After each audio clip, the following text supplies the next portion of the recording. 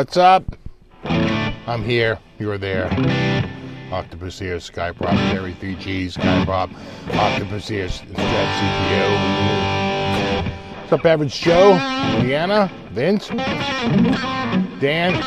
Trolls? BC Rich, Bill France, Buzz Wilson, Frank C, Nelson, Majestic PB&J.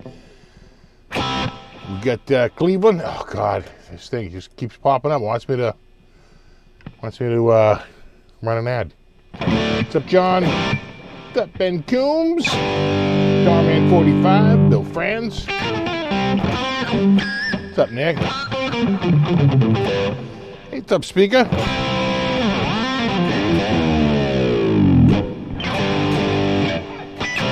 What's up, Max Verse? What's up, Matt? Did it. What's up, Mike? Rabid Rich. What's up, Robert?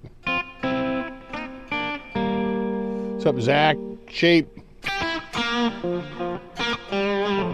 What's up, James from Phoenix? The Phoenix James.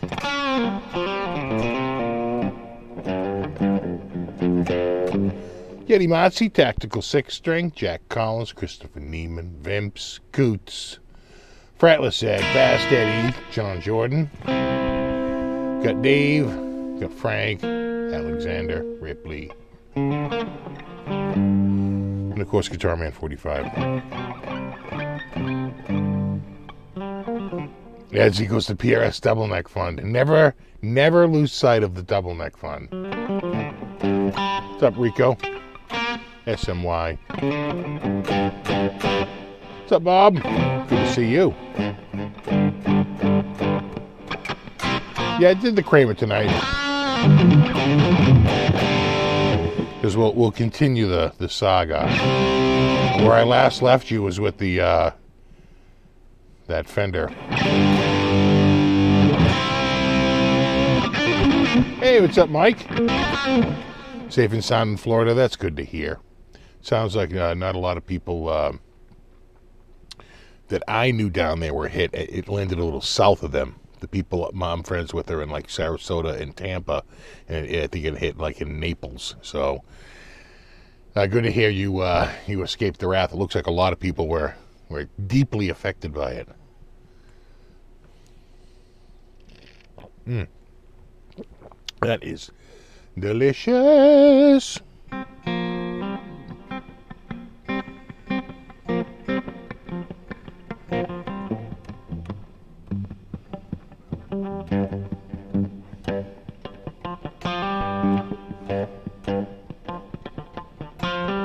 What's up, Ed? What's up, Michael? Yeah, retro puffer. Get the get the Kramer out.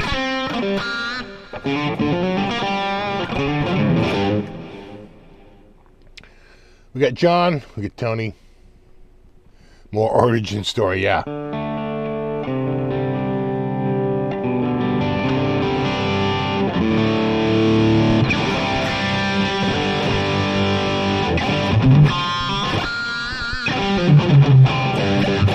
Hear the difference between a maple and a rosewood fretboard? Probably not, but my cat probably can. Um, she was sleeping up on here on the couch. And I had the window, this window up here, behind me here, over there. I had it open. I had a fan in it, a box fan. And I had it on the maximum setting, which is, I'm going to, it's pretty loud. Super loud. And I had the fan under my desk. It was kind of a hot day. We had the air conditioning going and we had the, you know, um, this was a while ago, and we had the dehumidifier going. And I had that fan going pretty high. And uh, she was over on the couch. And I see her go like, like she hears something. The ear is kicking up, and she looks over. And I look over, and it's a spider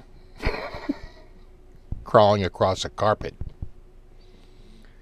She could hear that spider crawling across the carpet from about 15 feet away with multiple loud fans in the central air conditioning system going. Was like, oh, what's that? Tuned right in, I was like, oh my, okay, that's that's pretty good. that's uh, okay, that, that's pretty good.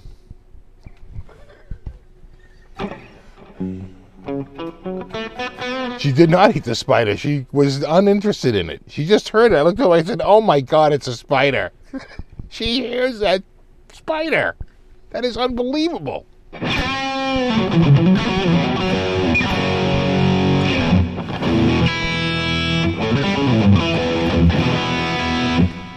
Work with big cats. They know where you are, hands down. Before, yeah, you, you know where they are. Oh, absolutely. Oh no, they got the they got the radar. You know, their ears are so friggin' sensitive. Cats can hear the 60 cycle hum or the 50 cycle hum in your walls from uh, the electricity.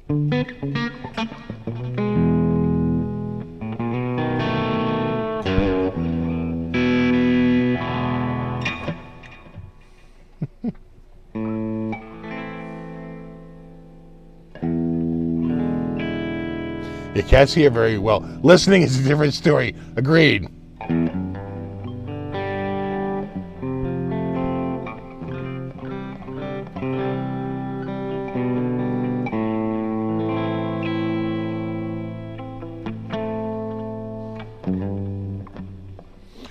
I have seen the new PRS pedals. Would you would you own a pedal called horse meat?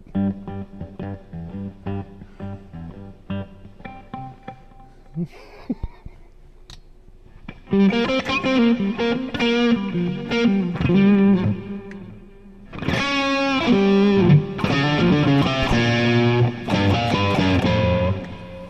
welcome back. Welcome back, Nick.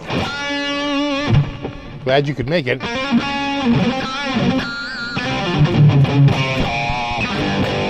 The cats can hear Ryan from 60 Cycle Hum. Every cat. Everywhere.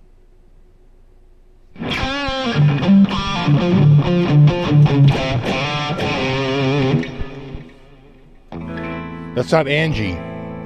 That's an original work called Andy that I wrote for my friend uh, Andy, the guitar geek. Andy. Andy. I haven't seen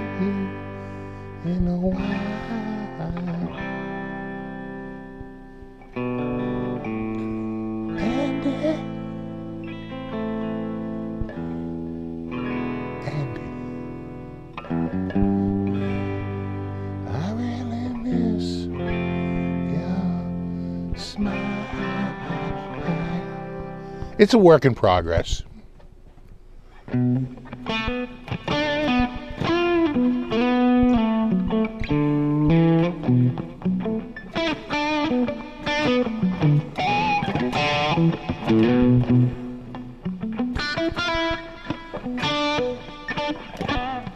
Kramer j- jersey headstock snapped off, fell off the dresser. It happens.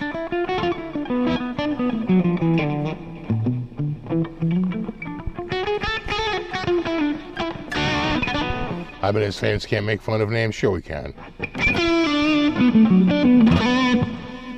They should have named it the PF 245Z. Not gonna lie, it's catchier.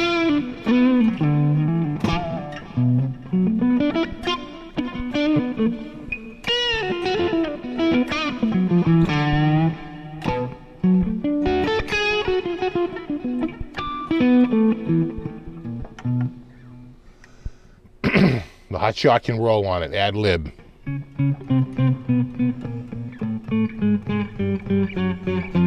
Andy, it's a hit, man. It's a hit. It's a work in progress.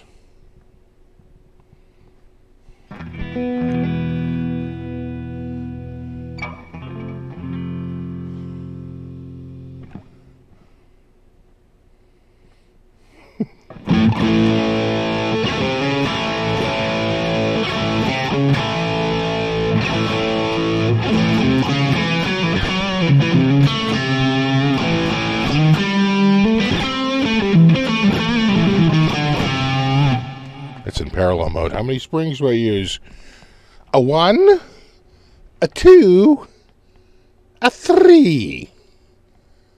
The correct answer is three. In bonus points for those of you who got the reference. Those of you who did get the reference, you're old.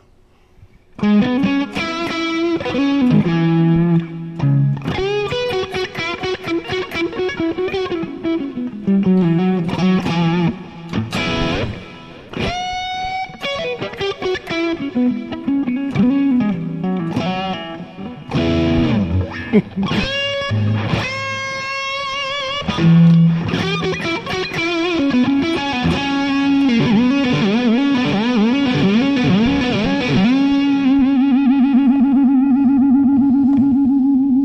do that all night.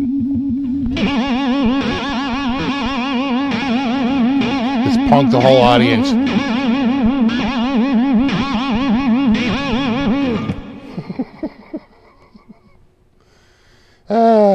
That owl could sell anything.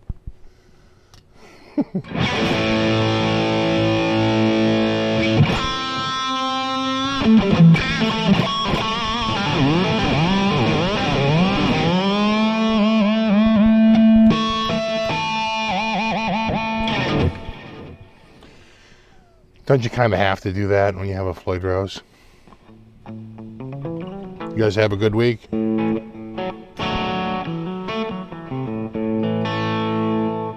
IK Multimedia Tonex. Never heard of it. Is it a, a product? I gotta tell you right now, I'm not a fan of IK Multimedia as a company. I think they're, um, you know, they're uh, they treat hardware like software, and it really annoys me. Pisses me off, quite frankly, because they can't they can't break out of their their software mentality, even though it's hardware. Can't can't do it. And so uh, you're you know you're you're left with like um, 20 messages back and forth with customer service trying to get a firmware update. And they're like, "Oh, you just need to have the license transferred." It's like, "Bitch, I'm holding the license. How can It's it's hardware. You see, in the real world, things don't uh, photons bounce off. Things have touch. It's an electromagnetic force that keeps that binds molecules together and makes things that what we call reality. And they can't break out of their digital mindset. They're like, but you, the prior person licensed the hardware and you need to get the license. No, I don't. like, ah. Big pro. I, I got a problem with IK Multimedia and Native Instruments. I'm looking both your ways. Get out of the 90s.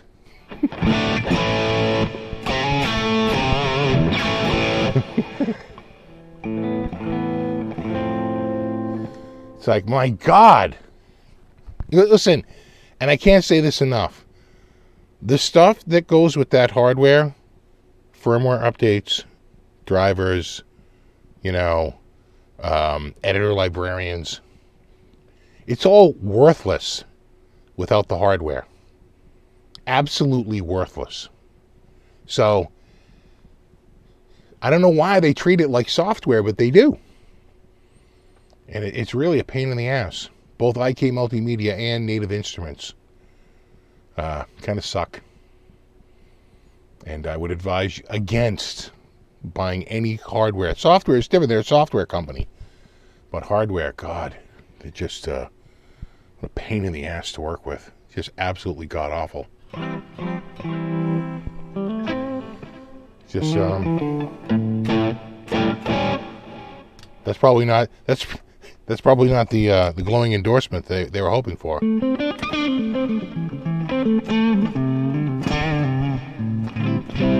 Well, just compare that to um, like how a real hardware company like Yamaha or Korg, like they just they just post everything related to their hardware up on a website. You don't have to even register.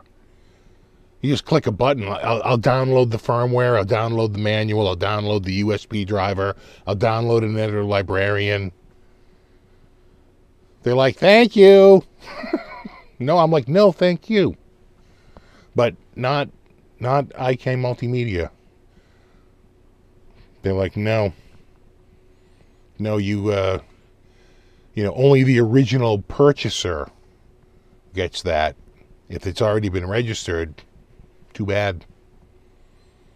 And I'm like, oh, oh.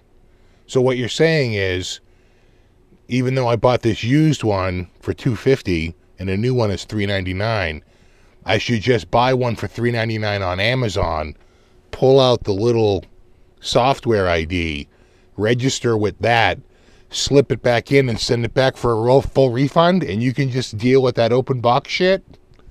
Is that what I should do? Is that what you're saying? And they're like, okay, here's a link.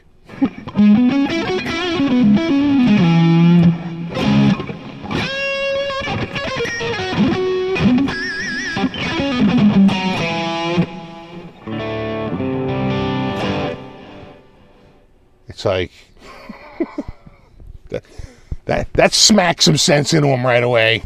They're like, no, that's that's not a good outcome. I, I don't think it is. No, I agree. It's not a good outcome.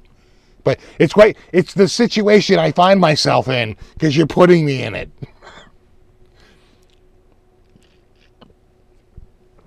oh. It's what we call a good it's what we call a float, little float scheme. I'm just gonna float that board for a couple of days. I'm not even gonna take it out. I'm just opening it up. I'm just looking for the card.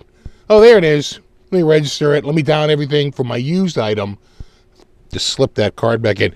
That's why you see on Amazon and on Sweetwater and on their website people going, "Hey, I went to register this and someone had already registered it." Oh, really?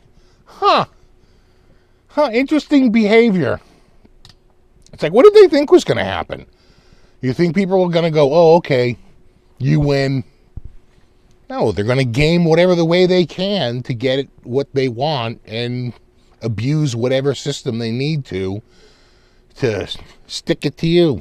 And apparently that has happened because I see that up there. I see that on like um, really IK Multimedia's like um, support forum. If you ever gone, because I went there going, hey, how do I get the firmware update? And they were like, you don't.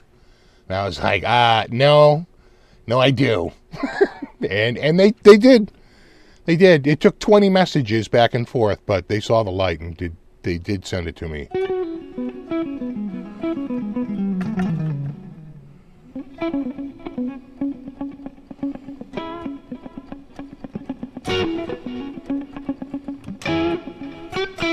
Are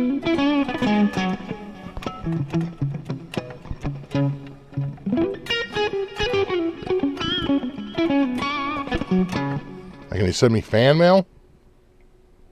Been this up for years I have a PO box. Uh, yeah, for that. I, I don't know if I have it. I don't know if I have it listed um, on my channel or not. Let me check into that.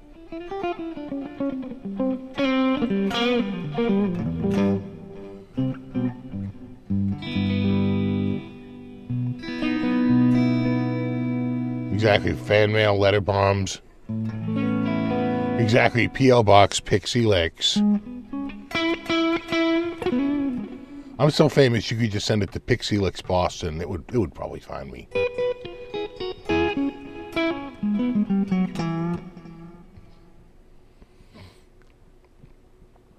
Remember Spy Magazine used to do that? How famous are you? And uh, they would uh, they always put a return address. But they would send it to like you know, Oprah Chicago and just see if it made it to her. Or then just Oprah. right, to see if it would just make it to Chicago and make it to her, they would just know where it to go. Right. Yeah,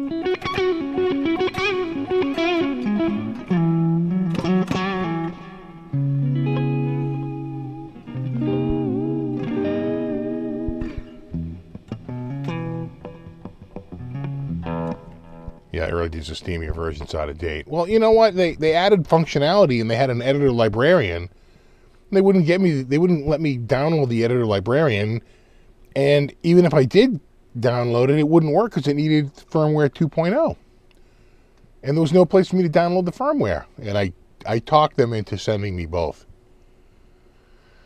But still, it's like it was it was it was too much effort. just just put a goddamn web page up with some links. It's like it's it's really it's not that hard.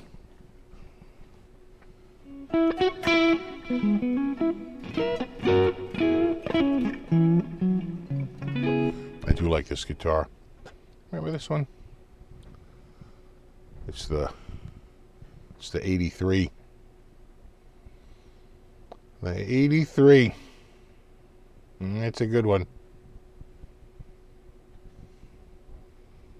I did a full uh, redo on this. I got this uh, in 2013. And uh, I just sort of redid it last year. Know, I mean, for a guitar that's so old. It came with an EMG installed in it, but I pulled that out. I just put Duncan's in it. You know, it's got the OG trem.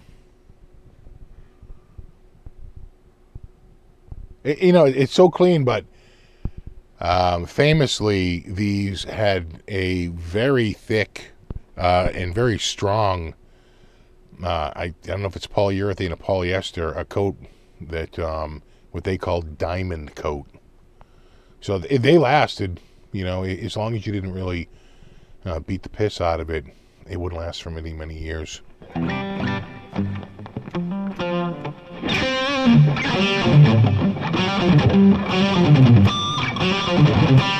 Oh, I definitely have a full video on this. I have many videos on this. Oh, what Duncan's? I just did the standard JB Jazz set. And one thing to add that that was the set that you would get if you um, if you bought a uh, a, a humbucker or it would be a double single double or whatever you know two humbuckers or humbuck two humbuckers in a single. That would be it. It would be a JB and a Jazz. I'm, I'm, I'm pretty sure that's what they were using for most of their stuff. Uh, uh, it wouldn't have been this year. They were still using the Schaller pickups uh, uh, this year. It would have been three years later, I want to say.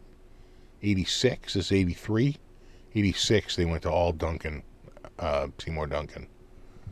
Sort of a way they could still say made in USA because pretty much most of it, well, the bodies and the necks were made in Japan, but I think they were painted in uh, New Jersey.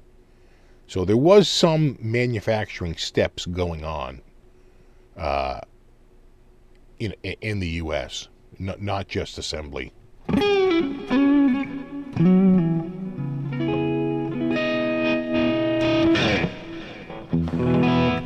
Yeah, it's candy apple.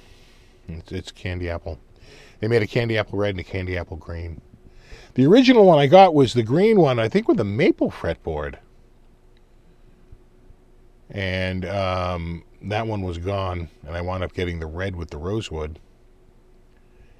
And it had the wide neck. In fact, we should. 722 we can sort of get into the the main topic where I left you last in the in the great saga that is my guitar history. It's at roughly 90. So I get that the Strat Christmas of 81. In, I want to say, summer or fall of 82, I have Seymour Duncan stacks put in it because I just couldn't stand the hum the 60 cycle hum, you know, from using a distortion pedal. And, um, you know, in the in the guitar, it's just it, it was so friggin' noisy that guitar. The 60 cycle hum was just incredible. So I I get the I get those Seymour Duncan stacks. I have those put in them. It, it doesn't really solve it. I'm still going back to the Ibanez Les Paul because it it's just it, it's closer to what I want right? It's got the humbuckers and You know, it's it doesn't have noise. It's a stronger output. It sounds better with you know metal songs. So it you know I'm coming to realize that you know maybe the you know maybe the Strat wasn't great. So that summer of '82, um, I have. I think I'm. I maybe it was the spring of '82 I had them put in because I think that summer I had the stacks already in there. I already had the the the, the stacks, and I went to. Okay, so the, no, wrong, wrong year. Okay, fall of '82 I have them put in. I go through the winter '82 to '83, and then that summer I go to Berklee and I still have the Strat. That's pretty much what I'm playing. I go there with the Strat, and you know it's got the Duncans in it. And I'm still not. It's a heavy guitar. I'm still not crazy about it. You know, it's kind of over the top with the gold and everything. And um, Berklee ends, but I still keep going down in that area and hanging around. I spent the summer down in that area, and they had uh, LaSalle music. They had Daddy's Junky Music, I think and they had um, E. Wurlitzer. And I remember going over there, which was had nothing to do with the World's Piano Company. The guy's name was literally like Eugene something, like Wurlitzer. So uh, I go to E. Wurlitzer and I walk in. I'm like, and they kind of knew me there. I was in there all the time. I'm like, hey, what's new? They're like, check out the new Kramers. I was like, what? It's like, yeah, it's got these locking Floyd Rose you know? And they had a bunch of them on the wall, probably a half dozen. And they look like this. And they had a green one with the uh, maple fretboard. I want to say it was like six ninety nine with a case. It wasn't cheap. And um, because I remember it was like seven thirty five with tax and I was I was I was like all over it. You know, I, I never saw a guitar. You know.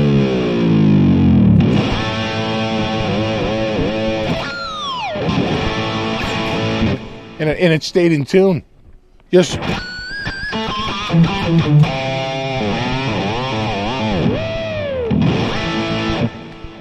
That thing wouldn't go out of tune. I, I was like, this is unbelievable. Like everything I didn't like about my Strat I'm finding on this new one, it's got the locking trem, so it stays in tune. It's got two humbuckers, so there's no hum, and it's got the stronger power because I'm playing, you know. You know, I'm, I'm not playing blues tunes, I'm playing friggin' metal tunes. And so, like, in terms of, like, being a fit, that was a much better fit for me. Not even close. And this was pretty much the guitar. One of these except it was the green and had the maple fretboard instead of the rosewood. And, uh, you know, I put a deposit down on it, and I'm broke. This is like probably September or October of 83. And, you know, can I go in there a couple of times, maybe in November or December, and probably don't even go in January or, you know, I don't go back for a while. And finally I show back up again. I'm like, I, I really got to get this guitar. And they're like, yeah, we don't hold guitars like forever. That guitar's long gone. You know, we have your money, so you can just use the store credit towards what it. I was like, really? I thought when I put the money down on it, you kind of held it. And they're like, yeah, yeah, we hold it for like 30 days, but if you don't like pay it off in that, we sell it, and then you can just pick out another guitar. I was like, oh, it's like April. So I wind up getting one that looks exactly like this, except that the the neck is like you know three millimeters wider. it's like much, much.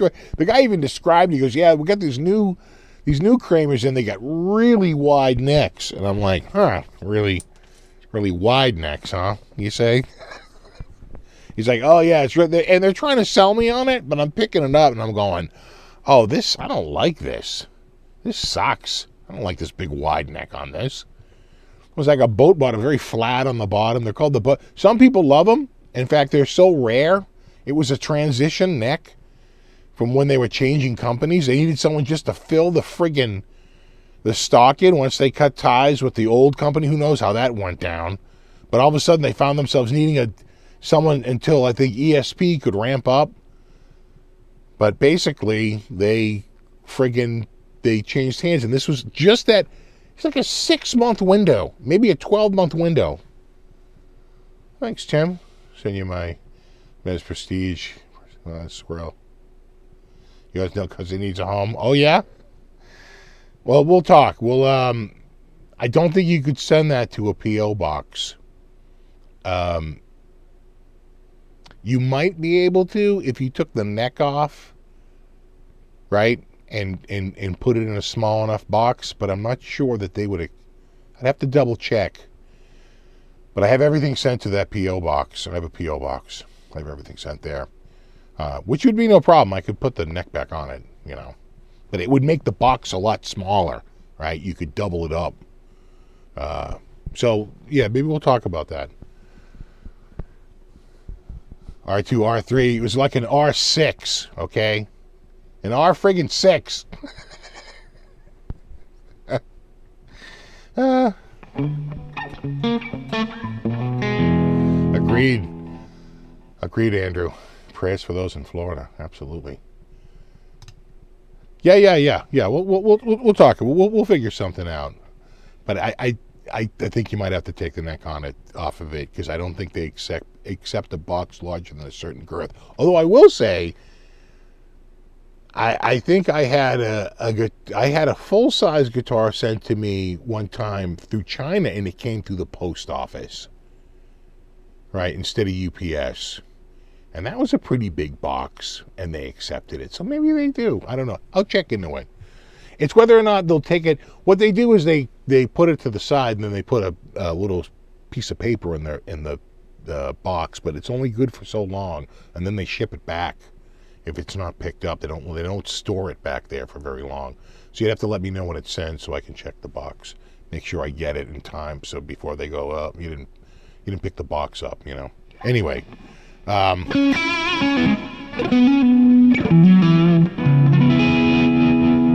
that was an excruciating level of detail. Um, so I get the new Kramer. I take it home. I I'm playing in like a new band, um, and uh, you know I'm I'm I think I'm loving the Kramer, right? I'm I'm sort of playing it. It's like 84, right? So certainly I have it before school gets out in the spring of 84, without a doubt. And like 84, you know, 85. And by 86, man, I am like friggin' sick of this thing. I hate the wide neck. I hate it. And I'm like, where's my friggin' neck that I love? This neck. This neck is a gorgeous. I love this neck. And I was just, and we get in a whole new round. We become a Kramer dealer and we get in a round of new Kramers that have a much smaller neck, just like this neck. And it's got the, you know, the tilt beak, you know, kind of like how my SM1 looks, right? Tilt back and it's like a tilt back and, and over, right? The sharp beak. And it says like Kramer American and it's got the block inlay and everything. And I was like, hey, is there any chance you can get me just a neck? And they're like, actually, we can. It was 120 bucks. I said, done. Do it. In fact, when it came in, one of the owners looked at it. They, were they were they were like, "Oh my god, this is really nice." You know, maybe we're not selling you this. like, I, I hand it over, and I wound up putting it on uh, uh, the guitar, and it just completely changed that guitar. It's a whole new guitar with that new neck. Sold the old neck. Found a dude who wanted it. Was able to sell the old neck. I think I sold the old neck for like fifty or hundred bucks.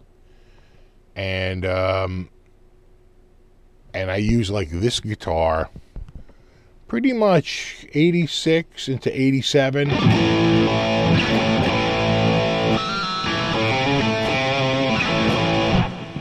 and in 87 could have been 86 but I think it's 87 I it's a long story but I pretty much get a an ESP Super Strat. So it's got the ESP headstock. They're Strat headstock. You know that headstock. They're vintage Strat style headstock. It's a little, it's a take on the Fender headstock. And it's their neck, which is a little chunky, but it's not wide, but it's just a little thick. It's like a vintage neck. It's got a white body. It's a single, single, double in their EMGs, which has got me like, you know, already grab, grabbing my attention because it has the EMGs and um, and it's got a Floyd Rose, and I had never seen a Floyd Rose in a non-Kramer guitar before. That's the first time I had ever seen a Floyd Rose that wasn't on a guitar that had the name Kramer on the headstock, because Kramer had the exclusive you know, the exclusive rights to use that guitar, uh, that uh, um, the tremolo system on their guitars. So. How the hell do they have it? It's because it was an ESP for the Japanese market apparently there was it, it was a thing or it was like custom made and um, i get that guitar and i'm like this is the guitar speaker remembers that guitar it's uh, white and you know we would uh, jam with that i had it for a little bit i still had the i still had the kramer I, I think i forget if i got rid of the kramer at that point I think I I hadn't yet. I still have the Kramer. So I have the Kramer. I've got the new ESP, which I'm trying to, you know, integrate into my repertoire because it was expensive. I traded a couple items for it and you know, really wish I had, you know, it was like a Strat reissue that you know would be worth thousands of dollars right now. But it's like whatever, you know, did the deal, got the ESP and uh, yeah, I never really gelled with it. Just never. The neck was kind of chunky and vintagey, and it wasn't as thin as the Kramer neck. The Kramer neck was so much thinner, and so was the, even the Ibanez neck. And I was just like, I, I'm not digging this neck, you know. And so we're we're jamming. I'm jamming with the. Hey, what's up, Black Shoe Bear?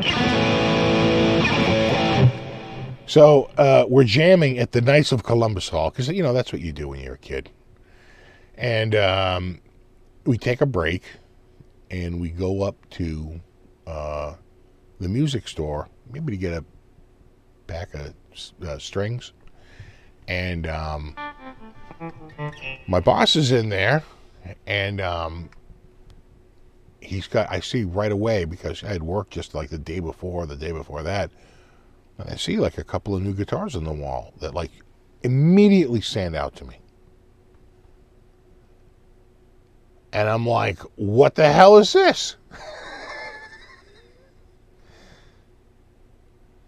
uh, speak of this is the part of the story when I started hanging around with you. I totally remember that ESP. You're right, right? Remember that ESP? Then you probably remember this. You were with me.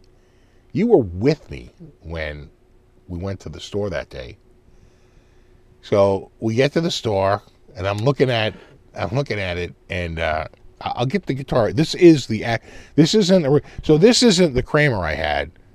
This is you know an '83 Kramer, but it's not the one I had. It's somebody else's that somehow made it to me in 2013.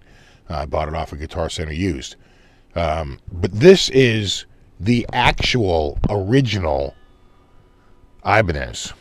I walk in and this guitar is sitting on the on the wall and I plot. True story.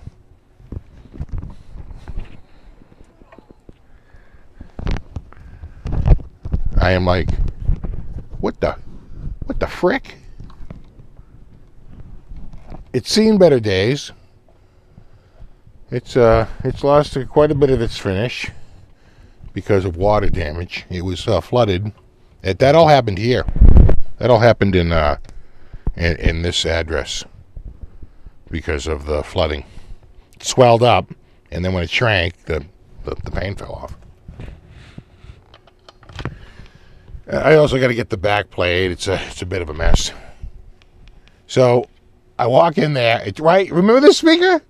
Yeah. Remember this? Remember we walk in there, and this guitar is on the wall. Of course, it doesn't have a scallop neck. It doesn't have EMGs in it. Right. It's, it's a standard Ibanez RG560. And um,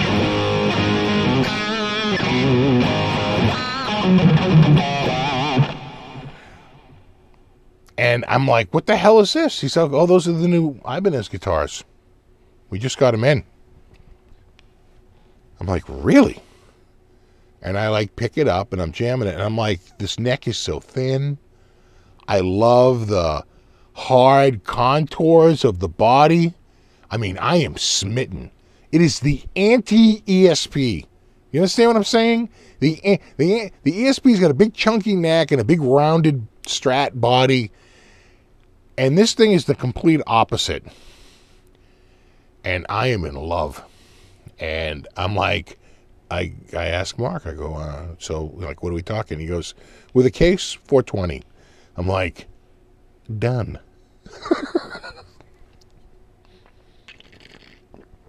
was my cost. Five ninety nine if you bought it on the store shelf. My cost was four twenty. I'm like, ring it up. What's up, Quentin? And um, and I remember speaker going, "Are you like seriously buying that guitar right now?" I'm like, "I am. I am buying this. We are we are walking out with this guitar right now."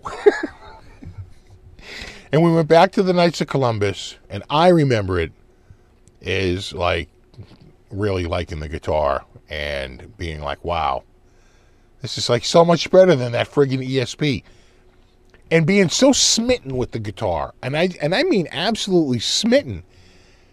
And I this hadn't happened to me. You know, I I, I don't re- really remember doing it with the Kramer, and I don't really remember doing it with the ESP.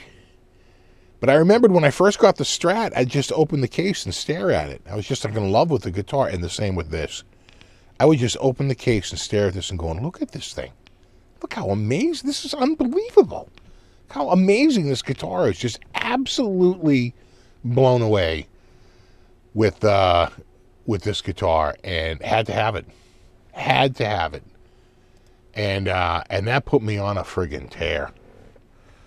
Uh, hold on, hold on. I feel like feel like a, feel like it's a, a tad overblown. Where's my uh there we go. There we go. Hello, Chico.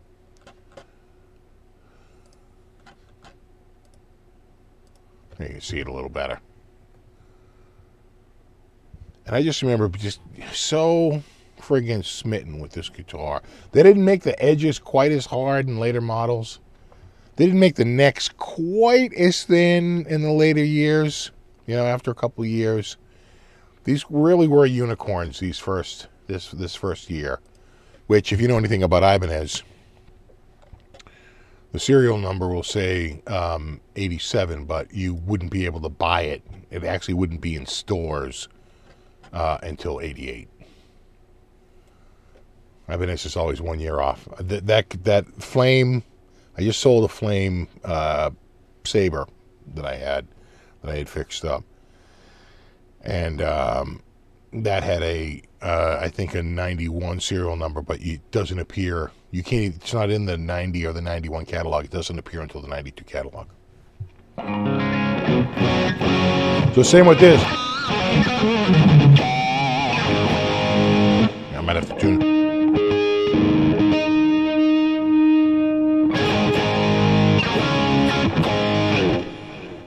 So um, I am like all in on Ibanez, like a game changer, like an absolute game changer for me. I am so friggin' uh, smitten with this guitar.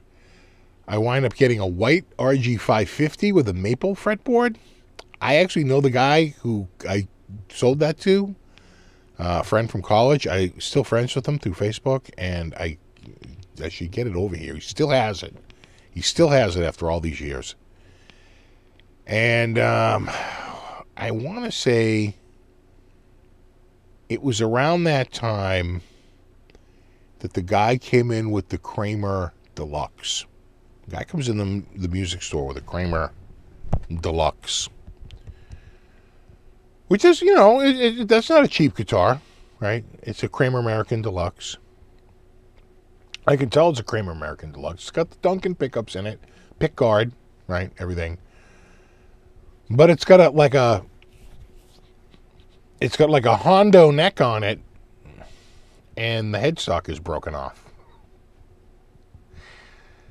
And it's it's in a, a it's in a Kramer case. And uh, he's like, "Yeah, you know, I owe money on." He had some story. I owe money on taxes or something. I was hoping to get like 250 bucks for it. You know, 200 bucks. And Mark looked at it. He says, mm, "Nah, I'm gonna pass." And I said, "Oh, I said, you know, I wish. Too bad you, you know, you you couldn't take, uh, you know, less." I said, "I, you know, I'd love this guitar." He's like, "Well, make me an offer." I said, "Well, I don't have much money." And I reached in my pocket and I had a fifty dollar bill. Who who has a fifty dollar bill in their friggin' pocket? I remember it. It was a single fifty dollar bill. I pulled it out and I said, "I got 50 He goes, "Done." And my boss had he, well, he was negotiating with him he got a call from his wife. I was like, "Hey, it's your wife." He gets on the phone with the wife, and that's when the. So I go to before I do it, I turn to Mark. I go, "Hey, is it cool if I buy this guitar? I don't want you know." He's like, "No, no, no, I don't want it. You good? You can buy it." I said, "Okay, good. I'm buying it." So we do the deal. I get the guitar again. It's got a broken Hondo head, head uh, neck on it. I'm gonna, but I had just done the neck thing. I had just done the whole neck with the other Kramer. So I'm like, well, just order up another neck, right? So he gets off the phone with his wife and he turns to me and he goes, uh, 200. Because that was the dude's last offer. He went from like 250 to 200. And I go, 50. He goes, 50! What? And he like looks back at the phone. like he's to go call his wife. Don't call me. oh, he was he was not happy with that fifty dollar price. He's like fifty. Well, yeah. I, I couldn't believe it. I said he asked me what I had. I said I pulled out a fifty, and he took it. He's like fifty, because the case was worth more than fifty. The pickups were worth more than fifty. The Floyd Rose was worth more than fifty. He did not have the nut I had to get. So I had to get the Kramer neck I had to get a nut. You know, I had to do I had to do all that, and uh, but I got it done, and it was right around that time. That's like 87, 88, 89, 89 maybe.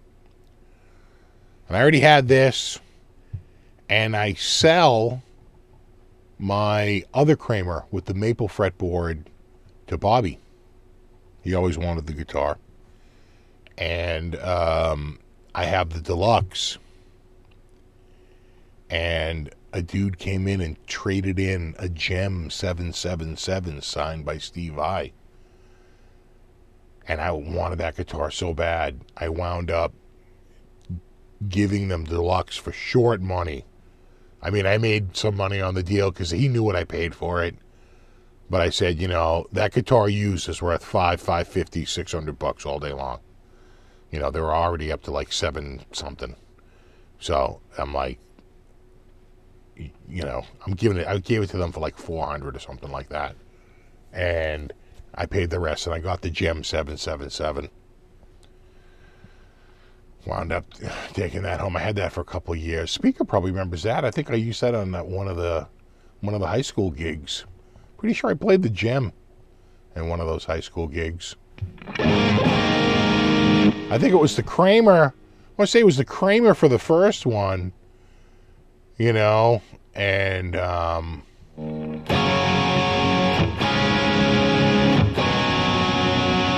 you know, and I want to say it was. Uh, I want to say it was the the for the second uh, show. It was the the JEM.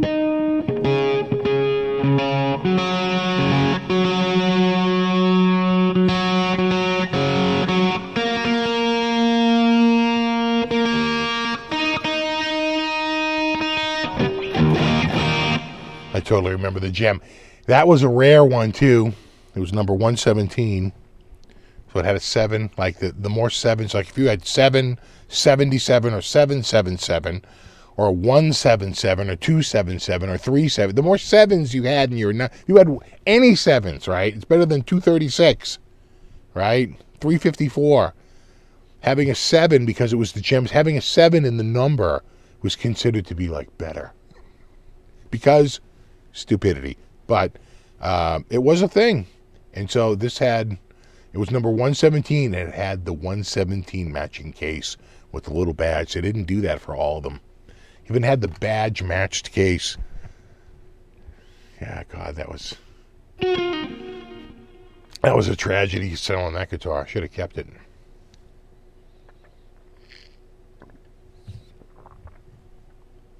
Yeah, I had the JEM, the, the green 777. And I had, I sent that out to, um, I sent that out to this guy who was doing, he, he was a, like a motorcycle artist and a car artist, right? He would paint like, like crazy designs. He was like this art dude, right? He saw like what they did with like, um, like Ibanez and and uh, Kramer had done some graphics in Charvel, and he's like, "Oh, we can do custom painted guitars and all this stuff." And they're going to do like custom painted guitars. It's not going to be a like a pretty big venture, and I guess that dude turned out to be pretty uh, unreliable, and um, and I was uh, they they were telling me I was lucky to get my guitar back, but I did get it back, and he did clear over the back of that uh, so that that signature, because a lot of the signatures would wear off. It was just done in them in like a felt marker. They famously like would would smear off. So it was ensconced, which some people would say it ruins the value because you've added, you know, overspray to it. But I don't know. I think it. I think it quite frankly enhances the value because you know you're never losing that signature, and he had the little marking on there and all that stuff and the numbering. So. Yeah, Loch Ness Green.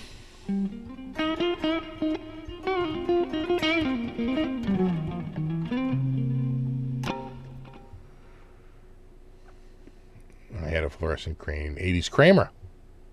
The black pickguard and hardwood and Floyd Rose. Interesting.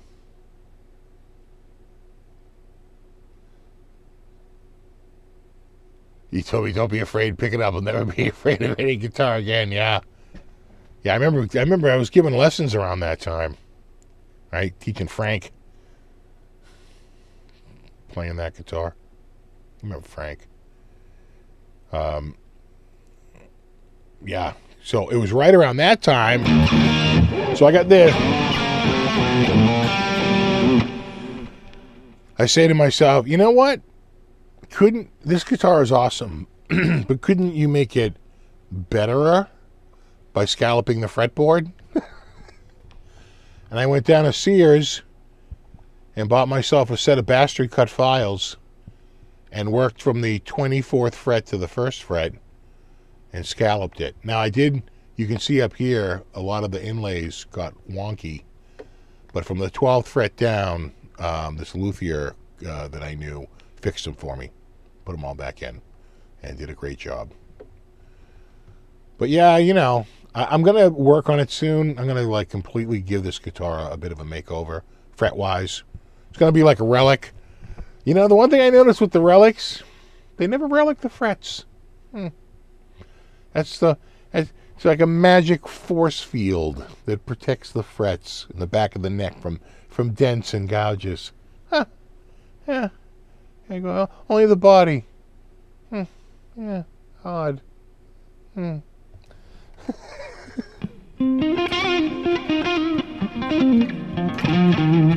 Frank drove us to school. He was a good player. Yeah, I remember Frank. He had that nice house.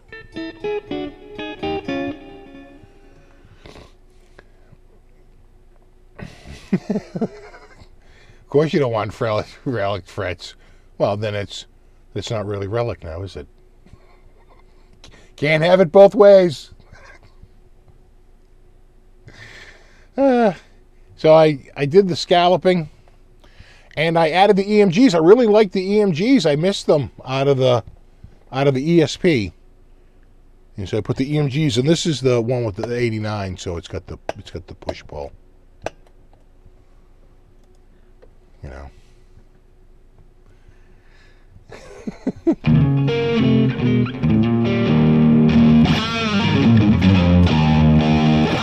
this is a 1988 um, Ibanez RG 560.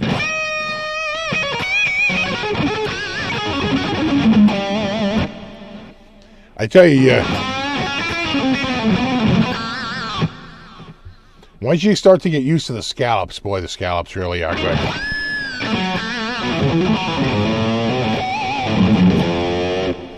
Because you can just, you know, you get your meat hooks right into it.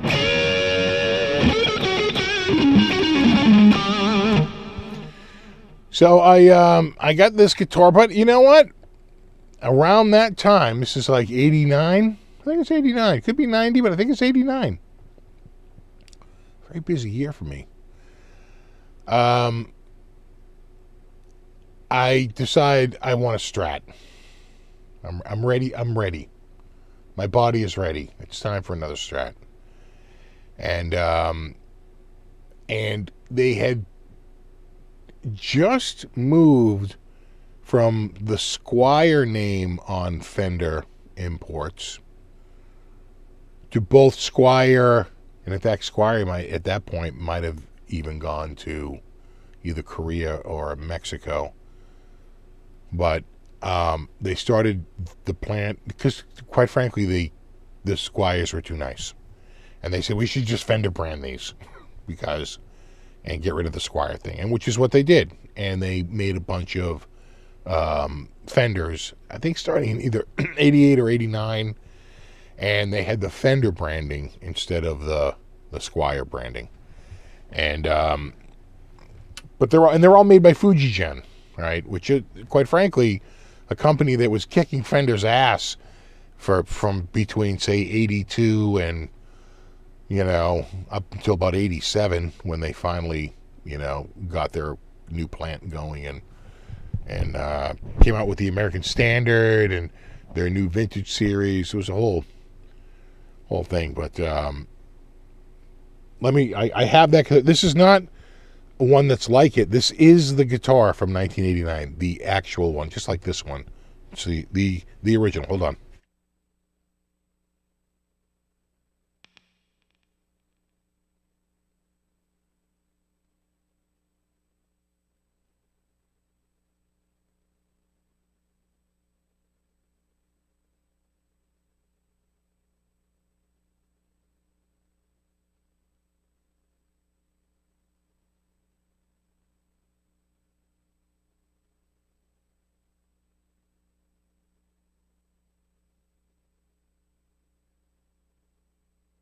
This is an ST54. And um, MIJ by Fujigen. I think it's made in 89 or 90. Hold on. Take a look here. Oh, Jesus. I'm losing my friggin' eyesight. 90. 1990. So it's a it's a 1990. Uh, it's got a hard V. Look at that! Look at that hard V. You see that where it dips, where it meets at the. It's got a hard V neck. and it actually did suffer a little bit of water damage. You see it's a little warped down there? But this was up on a stand, unlike the Ibby, which was on the floor. So this one didn't quite, you know, it's a little bit more relict than anything. I think these are basswood bodies. Uh, the pickups are not original. I put EMGs in it because I was on a big EMG kick for a while. Uh, but these are Lace Sensor Holy Grails, which is their like top of the line 50s pickup. And uh, I really, really love these pickups. I think it's the only lace sensor pickup I really like. I'm not crazy about their other stuff, but this particular pickup, the Holy Grails, Uh, pretty good. The um, the bridge is slightly harder than the rest, but it's uh, supposed to be like that. Like they're 50.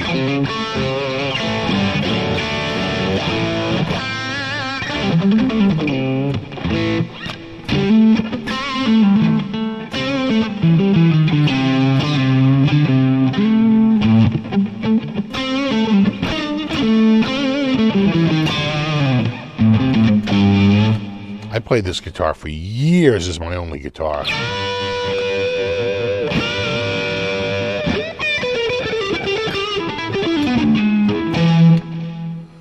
I, yeah, I have to take my glasses off to see them clearly. You have to put yours on. Yeah. No, I didn't lose my close vision. It's my far vision that sucks. Or my close vision when I'm wearing my glasses. Though they are um, bifocals, you know, to get rid of the magnification down here, make them almost kind of clear. But uh, it's not as good as when you just take them off. That's the clearest. What's that, YouTube? Now would be a good time to run an ad. Creators earn more money inserting ads. The more viewers are watching, the more money. Give it a try. I told you on Christmas. I'm saving all my ads for the Christmas show. These aren't worth that much money because they made a ton of them. So they're probably worth, you know, although they have shot up recently. They went from around five to six hundred bucks up to seven to eight hundred. The last time I was looking online, they're all like eleven, twelve hundred bucks now. So they're definitely they're definitely shooting up in recent years because people realize it's uh, really good. I changed out the disc for a graphite because it, it kept it in tune better. And I don't give a shit about the original look. Like, whatever. I'm more practical. It's a great guitar, though. It's one of my favorite guitars. This is this is one that has just lasted all the years. You know, that's the original pick guard, original knobs. Uh, the only thing that's uh, changed is the um, the pickups.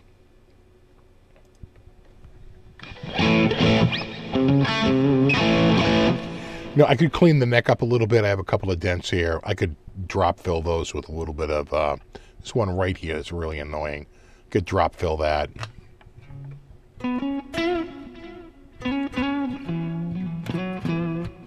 What's that in the back of the trem? I I, I have a um uh what do they call that? A um a, a mag trem or trem mag. What is it? Is it mag trem or trem mag?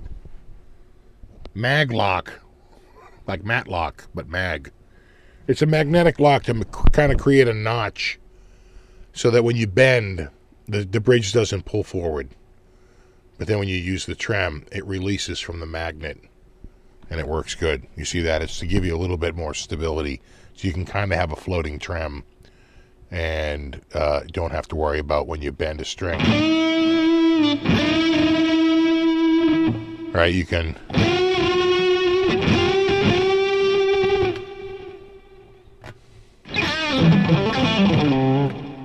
Yeah, it's like a trem setter, but it's it works differently.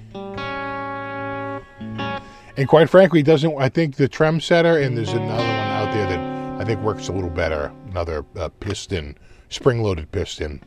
Glu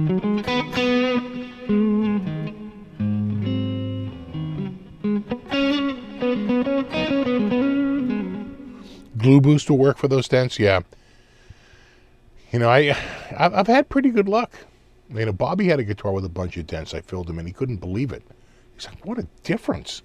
I'm like, "Yeah, you, if you drop fill it, you know, you can use, um, you know, you, you sort of you, you tape the area off so you don't get it too, you know, you want to go nuts, but you sort of fill it in, and then you you just work with the polishing pads, right, until you get like the super bright polishing pad, and then it's like it's like brand new.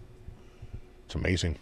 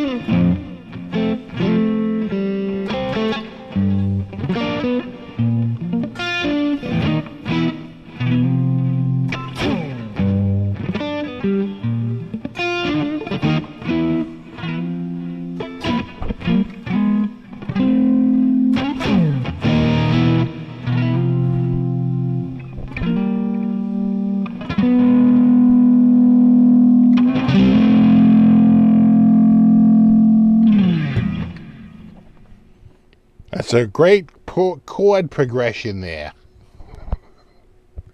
And then, will the wind. Did, they call it wind cries? Is that one of the PRS? Are they worried about the? Uh, are they worried about the estate coming after them? Hmm.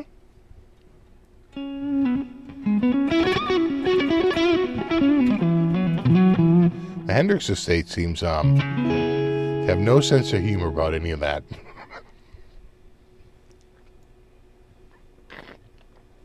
These are um, a lace sensor holy grails, which is a 50s, you know, because this is a 50s, you know, this is supposed to be a 54.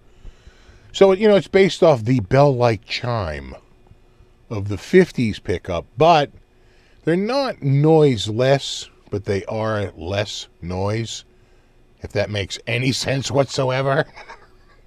right? They don't eliminate noise but they do like some wonky thing with the magnets to make the no- it really reduces the noise.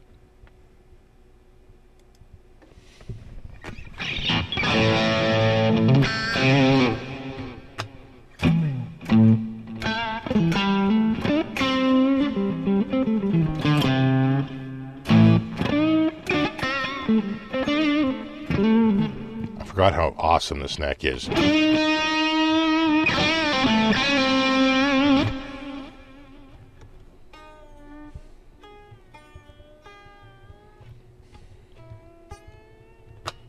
Yeah.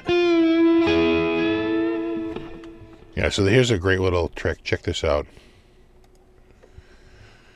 Uh, where can I get it? Maybe, uh, so get, get these two strings here, right? That's the G string and the B string, right? Kind of get them together. You see that? Right? You, you, you, get them together. And what you're doing is, because they're right next to each other, you're kind of pre-bending, right?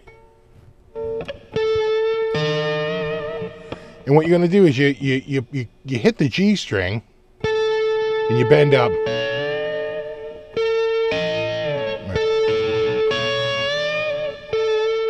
So you do a pre-bend and you drop it down and then you hit the G, the the B string and you and you bring it up. So it, all together it sounds like this. Almost like a little um it's easier to do it down here. It, it's like a little pedal steel lick, you know?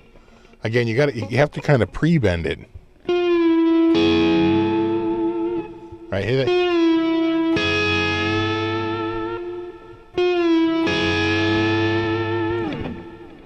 Right? Dig. Kind of a like, like a little country, you know, little country riff.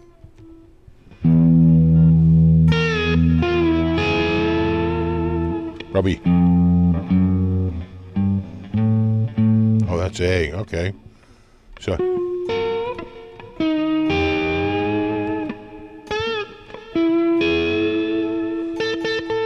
All right. All right.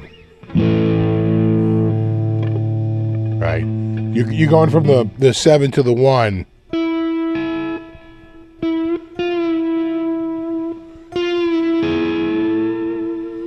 All right, right. There it is. Got it. Yeah. Well, to, to do the bell, you got to do it on the one plane and one. I've tried this with all combinations. The best combination is one plane and one uh, wound string. So that's of course going to be the D and the G. You cross those over, and I, th- I think it sounds better a little lower. And then you got to kind of pluck them together. Shame. Shame. Shame. Shame. no, wait. Spam. Spam. Spam.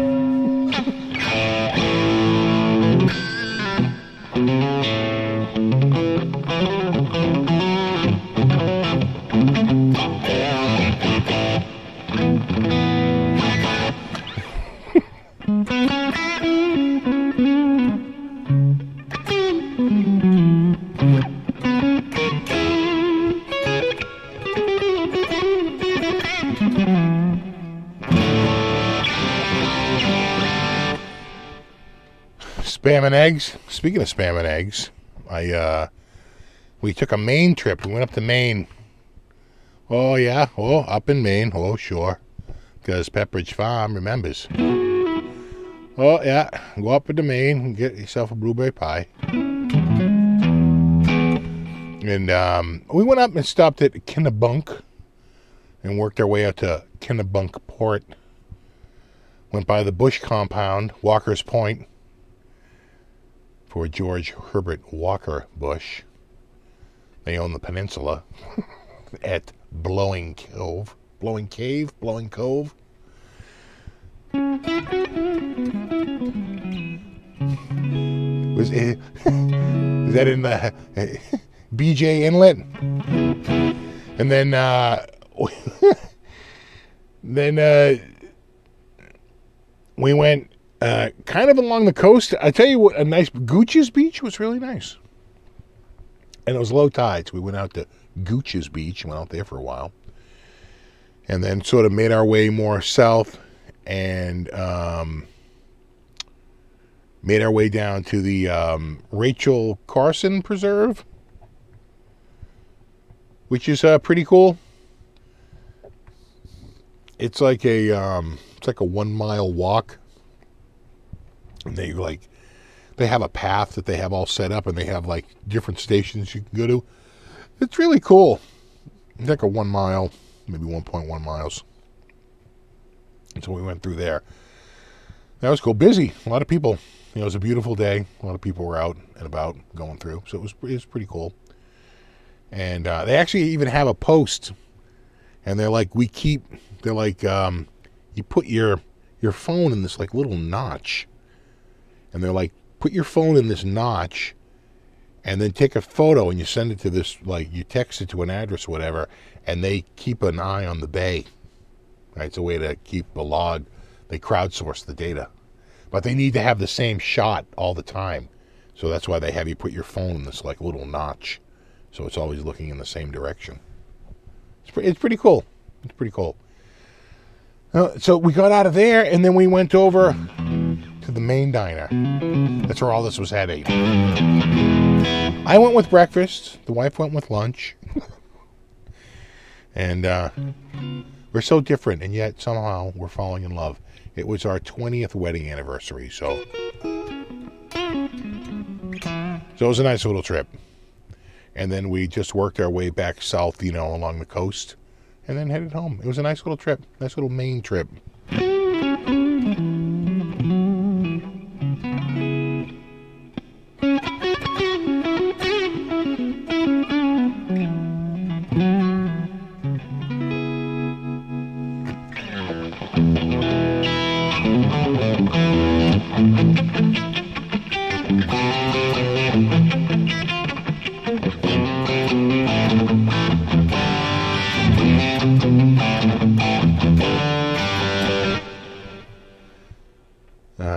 Lately loved hearing your RG560 story. Wish they'd do a Genesis 560.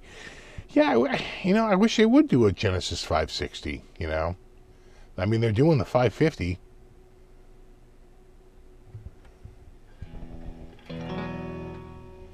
Gonna buy the horse meat? Probably not.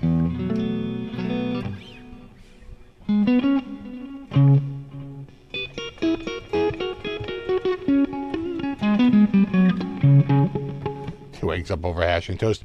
I wound up going with the um, with the Irish Benedict, which is uh, basically eggs Benedict, but instead of you know ham, they use um, corned beef hash. So it it was really good. It was really good. It was actually pretty. It was pretty pretty damn good. I also want to try Congdon Donuts, but they closed so early. By the time we, you know, we went up and did the Kennebunkport thing and Gooch's Beach and the Rachel Carson walk, it was too late in the day. They closed at two.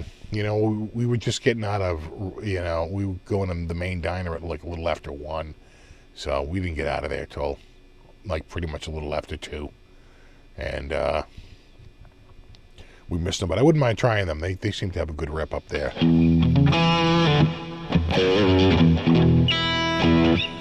I'm going. What am I going through? What am I going through? I'm going through the DOD YJM. Everybody loves that. It's the Brit. It's the Brit. Yeah, the Brit 87. See, they can't say Marshall. that gets a cease and desist letter. So they call it the the Brit 87, but they use a uh, an Yngwie J. Malmsteen DOD 308. Is that what it is? The 308, like overdrive. In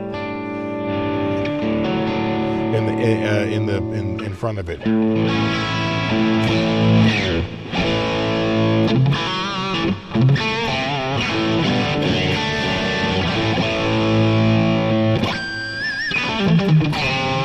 I love this guitar. I love the way it sounds. You know, 22 years. But luckily, your wife hasn't murdered you yet. Yet being the operative word there. I'd keep one eye open, dude.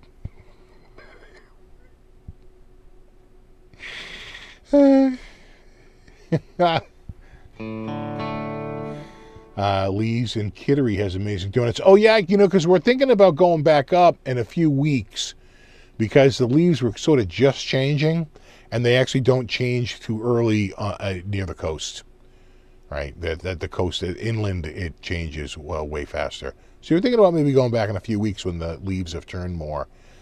And um, going further south, we got back on at like, I want to say, just a little bit south of like Weirs Beach.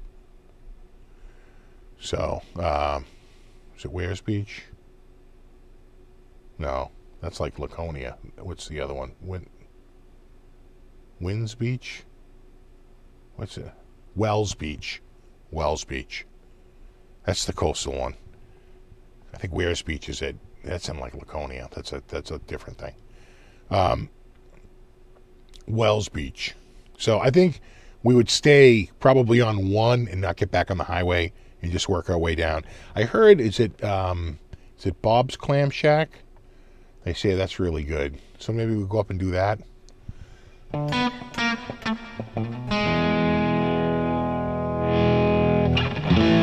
it go to 11? Sadly, it does not. My PV goes to 13. Which is, as I understand it, two louder than 11. That's just science. Oh, that is good. Take the trolley. Gale warning tomorrow. I don't need that. The leaves will be gone. Yeah, that's what happens, right? You get one good windstorm, and all the trees get stripped. Oh my God, that is good.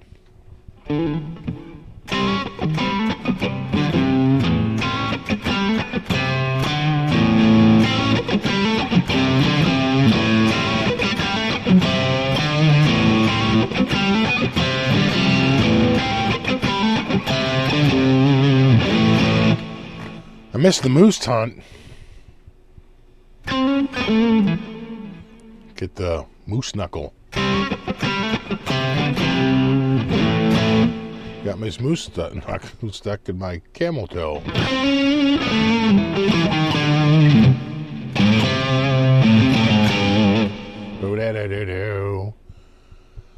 Clam Shack next to Kittery Trading Post has new owners. Reports are not good. Oh, is that is was that Bob's Clam Shack? Because you you wonder, right? Bob gets old. He's got a rep, right? They wind up selling it, but the new people just can't quite capture the magic, right? So that that would be interesting. I'll have to I'll have to triple check on that.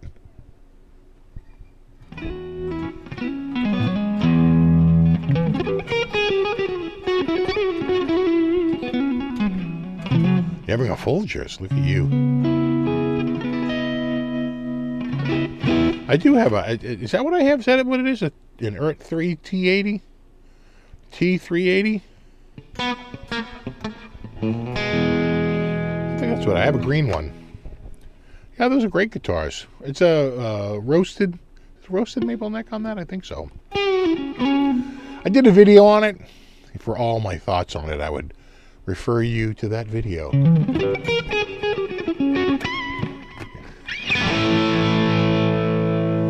What is what is Sin City?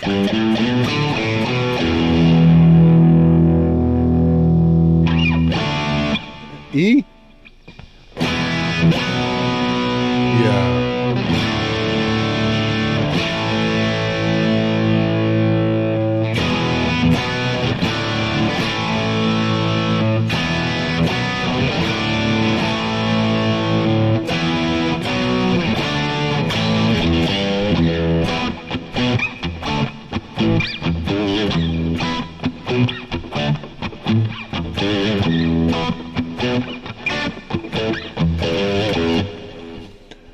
You, Buzz. Thank you, buddy. I do like the dark roast. I have the same Era fender strap, but it has no skunk strap on it. Bad. Does it have a rosewood fretboard? Does it have a maple fretboard? Answer me that. Is it a rosewood fretboard or is it a maple fretboard?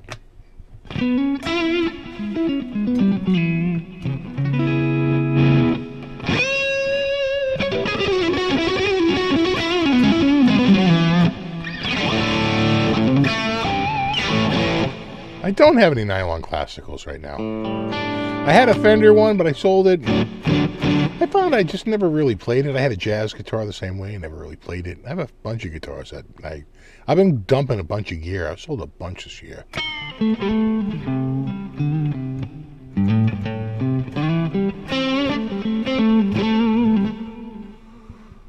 Strat has a rosewood fretboard exactly as yours. Well, not exactly like this. This is a this is a maple fretboard.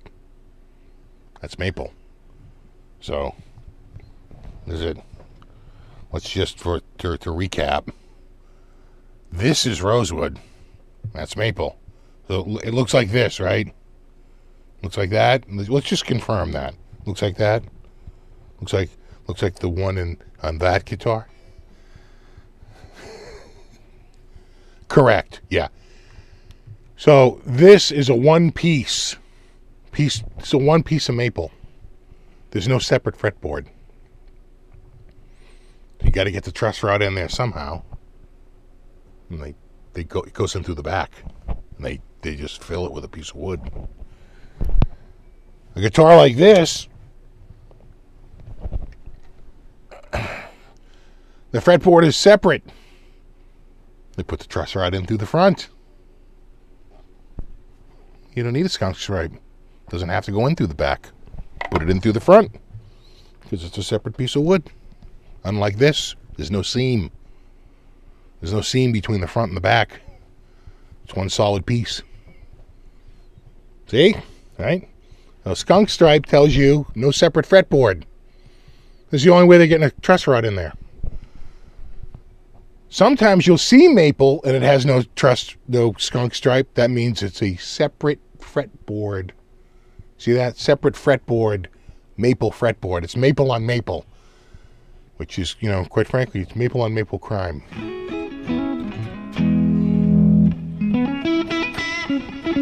Do they still call it a skunk stripe? They do.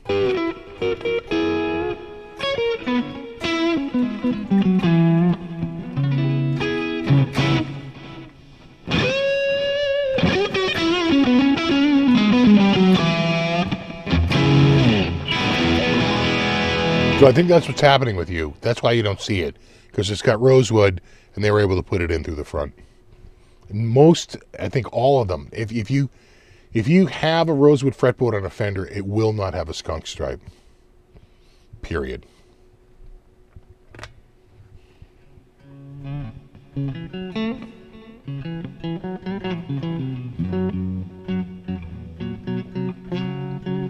You do have a Strat with a rosewood board and a skunk stripe? Probably because they made a generic neck. and they would put rosewood, right? I swear, sometimes I think they just use the same the same neck. They keep their options open. I've seen that too, but it's a weird thing. It's pretty rare actually.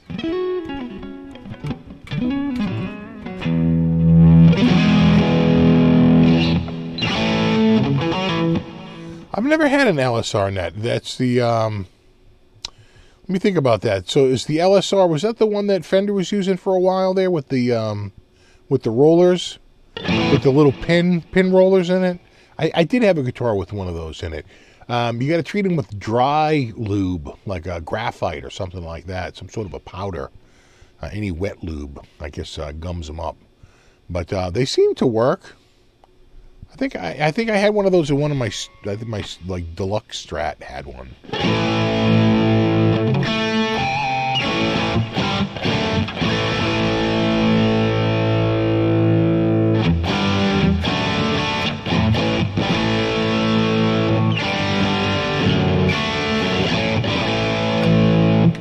You do lube.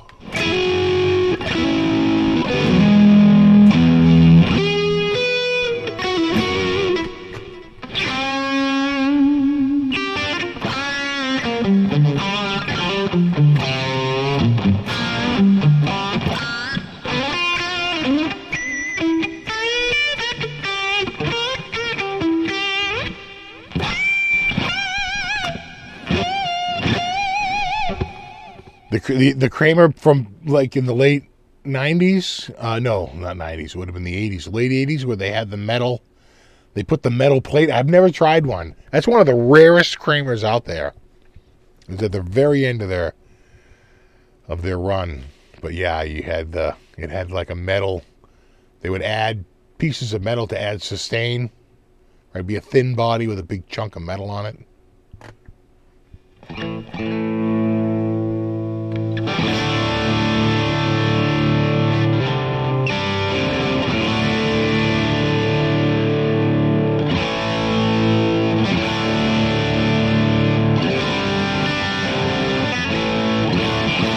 After walking 12 miles today, I'm ready to sleep. I tell you, last night I was like that. I was sitting in my chair going, you should just go to bed. And then all of a sudden I go like, it'd be like 30 minutes later. like, you should just go to bed. I'm going to bed. I'm just gonna, just gonna rest my eyes a second. 30 minutes later. where, where am I? Just go to bed. Stick with this. Go back to the Kramer. Go back to the Ibby. What do you think? You liking the you liking the Fender?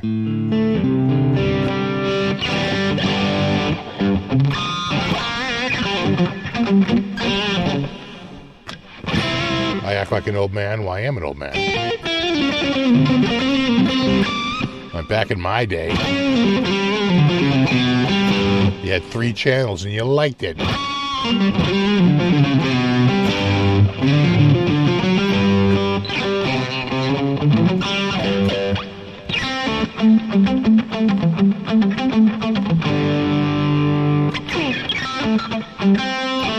Speakers saying Kramer. I think these pickups sound amazing too.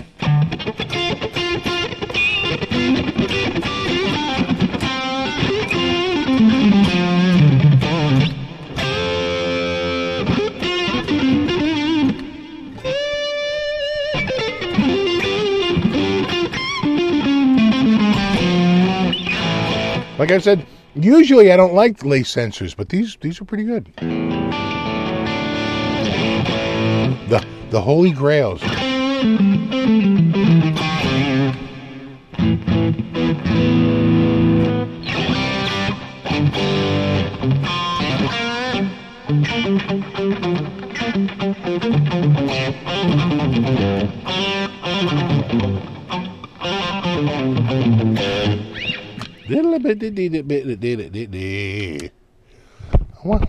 All right, I'm gonna. I'm switching up to the Kramer.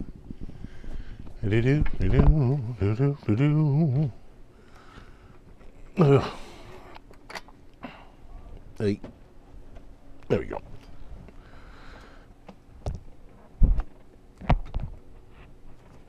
I haven't played this Kramer in a while.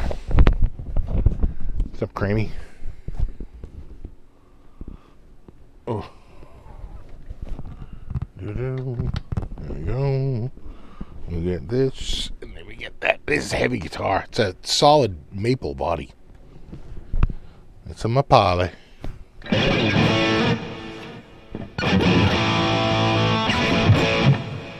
It's still bright. It's so funny.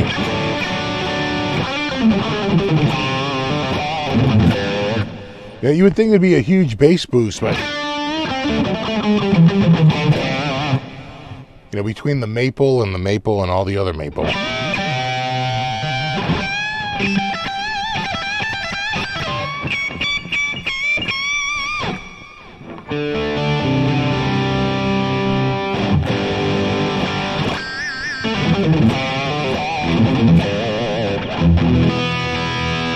Shirts and tune.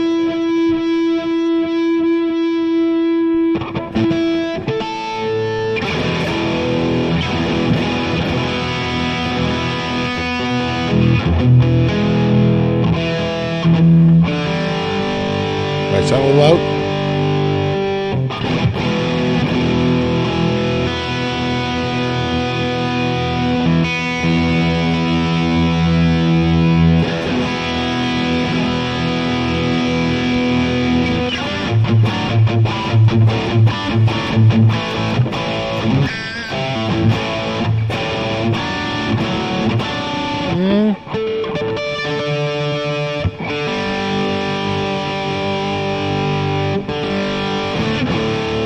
Better.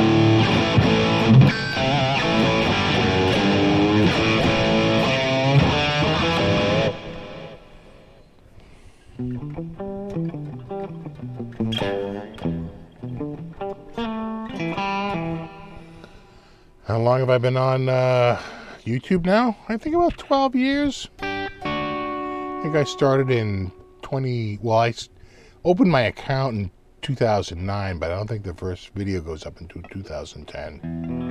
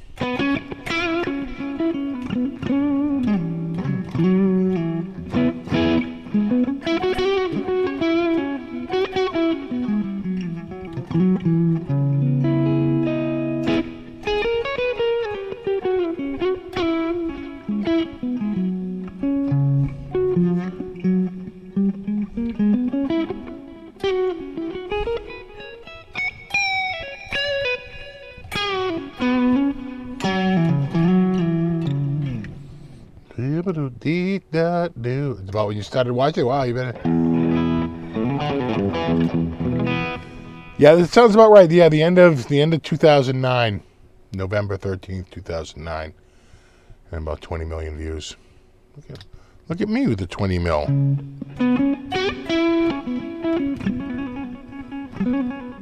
I remember me with less gray hair too. In fact, every year prior year I go back, it seems to get less and less gray.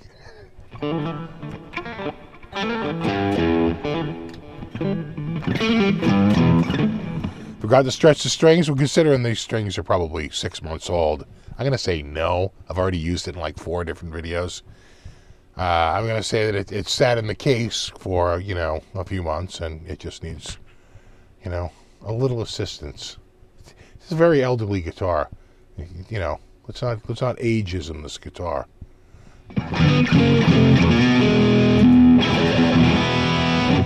I, I mainly use these. Uh, these are the picks I use most of the time. Dawman. I think Dawman's moving. I think he's going to move out of Belarus because he can't sell anything out of Belarus with the sanctions. So I think he might be moving.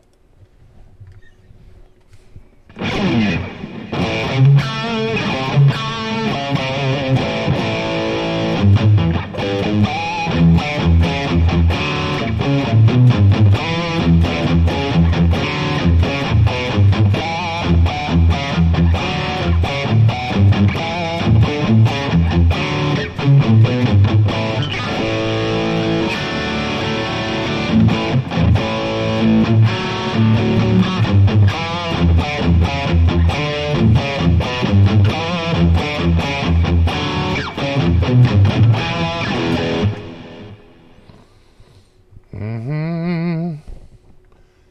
Stagemaster 1? Oh, yeah, yeah, the white one? The white SM1? You can remember the, the pre-goatee years? Technically, it goes down the side, but it's turned so white you can't see it anymore. Yep.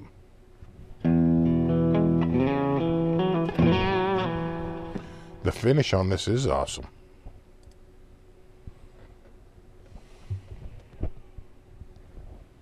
Oh, yeah.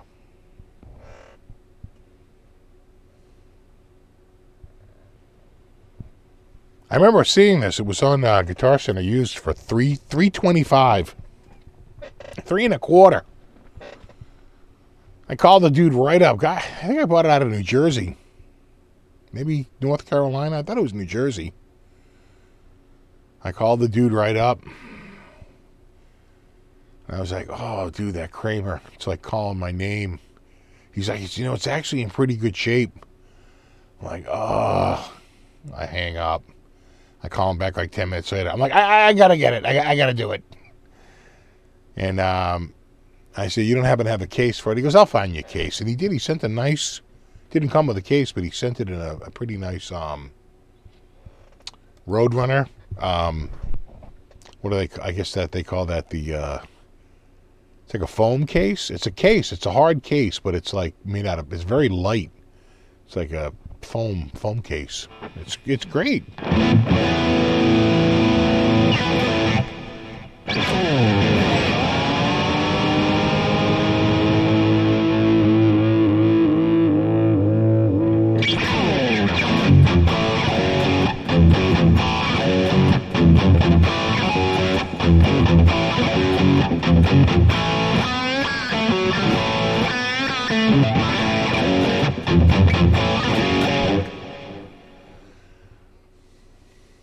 Growing a ZZ Top beard.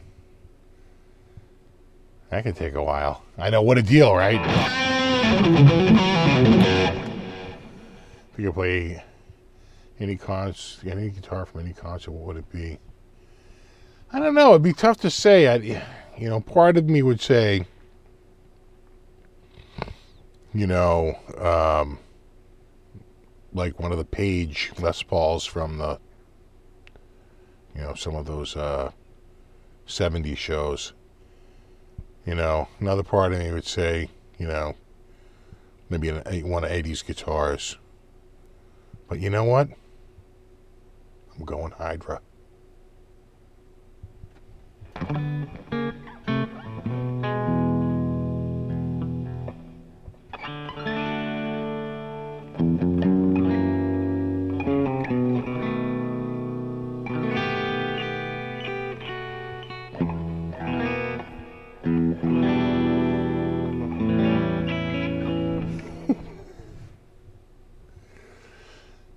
Who might you recommend in the Boston area? Refinish an old Rick bass? Oh, I have no idea. Damn. What do you think about Wolf Van Halen and all dad's riffs? I thought it was pretty good. They weren't. It wasn't perfect. You know, I still think uh, like Jacob Deraps. There's a few guys out there that, you know. But uh, it was close. I'd give him. A, I, I'm giving him a score like 99 out of 100. I thought it was, it was pretty damn good. He's in a he's in a short list of people that got the feel down, you know.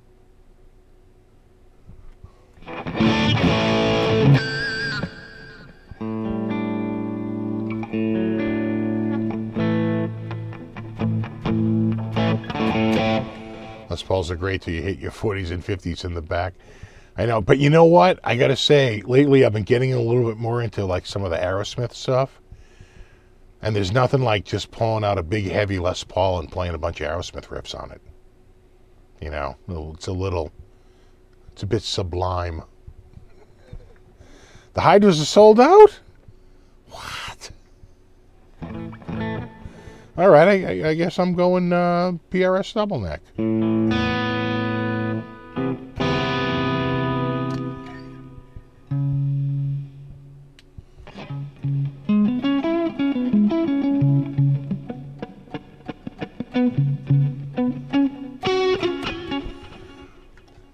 What's that, Ben Tom? Where are you going?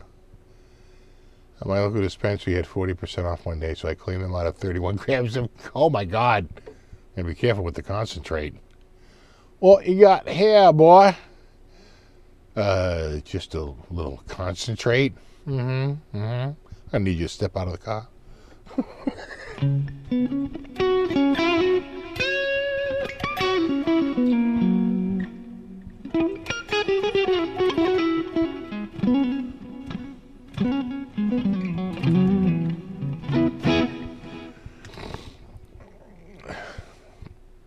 Still go for Ibanez. Ibanez is good. Ibis are good. Ibis are good.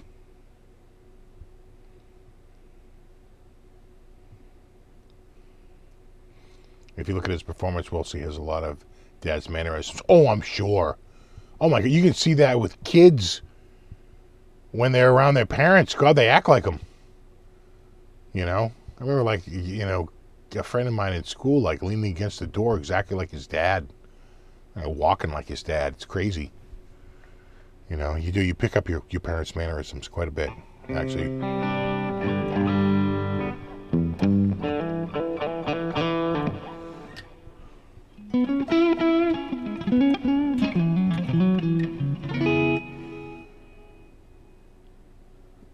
It, it- wait, did you say ten dollars an ounce? That can't be right. You mean a gram? Ten dollars an ounce? I think you mean ten dollars a gram. Let's listen. We have to we have to check our metric and imperial systems right now, because you're uh that you know.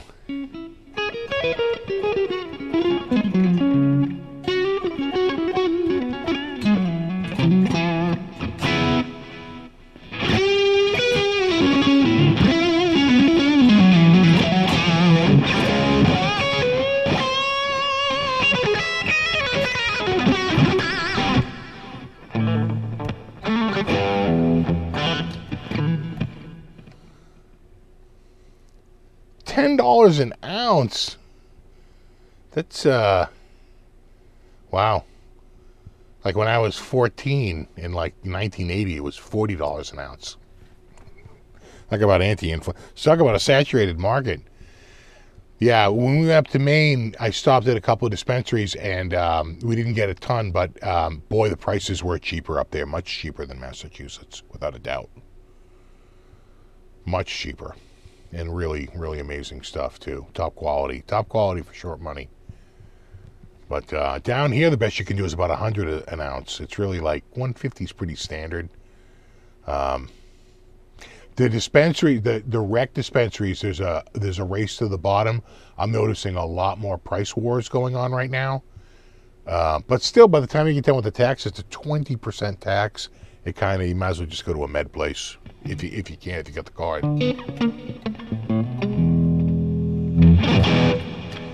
That is crazy. Ten dollars an ounce.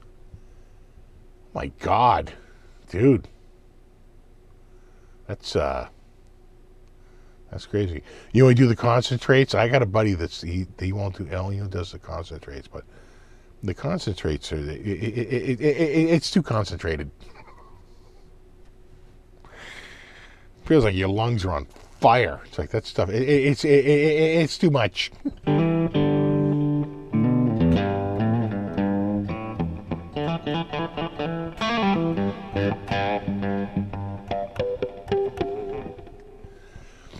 That is crazy. That is crazy. I guess it is saturated. well, someone's losing money somewhere. You know?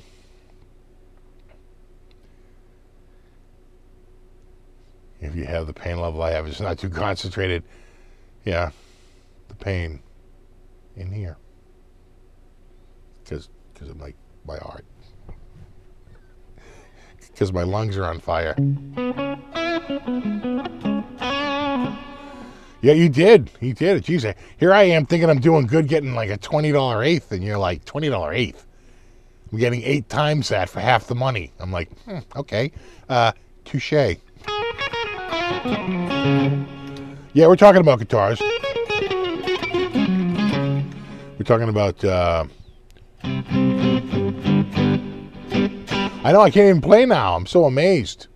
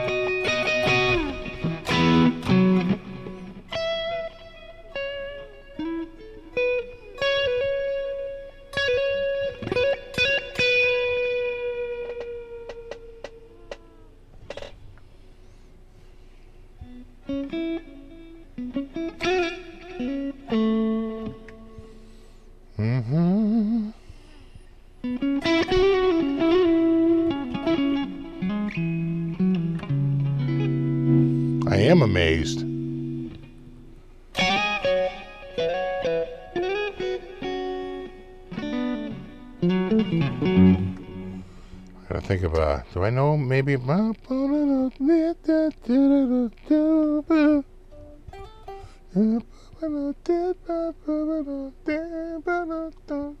It's like I can hear it, but I can't see it.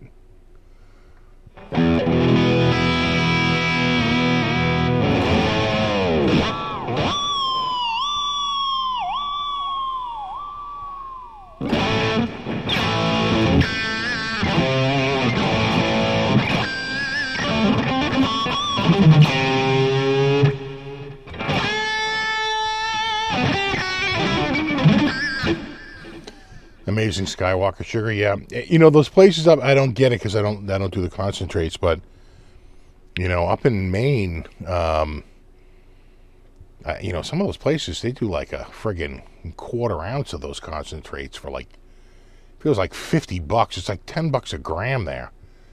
It's like it- it's crazy how cheap the concentrates are up there. Down here, they're much more. I, again, I don't purchase that stuff, but you know, you see it on the menu. You see them on there.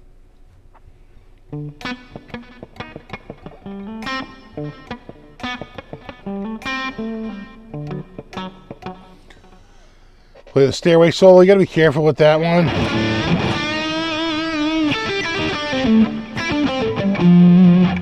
Right.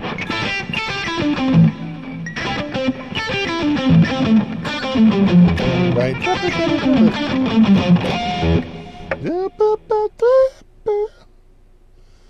You need the high THC. Yeah. I like I like the THC somewhere in the 90s. That's what you get with those concentrates. It's like Jesus. Which is like triple even the the highest flower. I'm saying, yeah, that is crazy. That is crazy. Ten dollars an ounce, an ounce. I was like, eh, I'm, I'm going, no, no, no, no, no, no, no. It's ten dollars a gram, two hundred eighty dollars an ounce. You're like, no, no, no, no, seriously, like ten dollars an ounce. like the market's saturated. It's like, what? I guess so. You know, it's like when you bought a digital watch for, you know, seven hundred and fifty dollars, and then five years later you got one for free with a, you know, a full tank of gas at a gas station. You know, talk about price crashing. Calculators the same way. You know, went from a thousand dollars down to like, you know, uh, free if you open a bank account.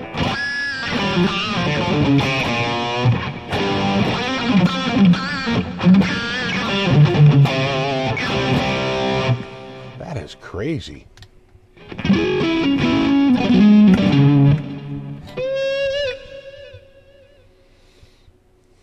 The high concentrates help with pain amputated finger.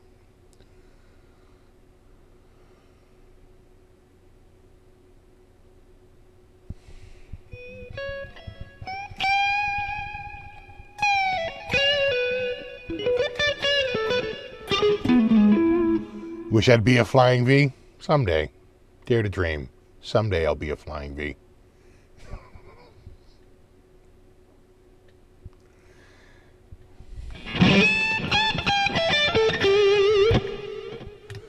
yeah. Yeah, you know, mind. That's blowing my mind more than those concentrates.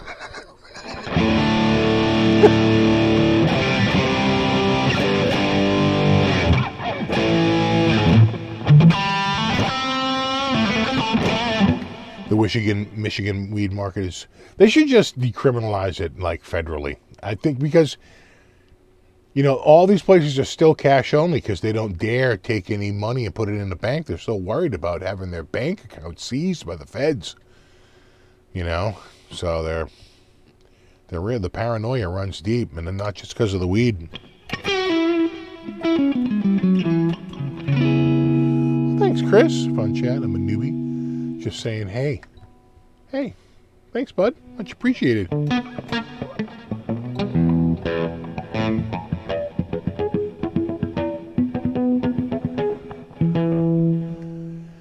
Fig Newtons, no way. Cheesecake Factory. Or really the Maine Diner. There were a lot of people in that diner that looked like me middle aged, a little gray, you know, and they're getting diner food. Your local dispensary takes debit cards now? Yeah, they won't do they nobody does it up here. They all have those stupid cell phone you know, they all have those stupid like um uh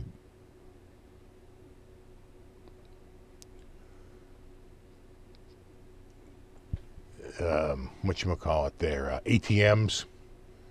You know, got like antennas on the top, and they're very expensive, and they always round up to like five dollars or something like that. It, it, it's very you just go to it. just hit a bank machine. You got to pay cash in all these places.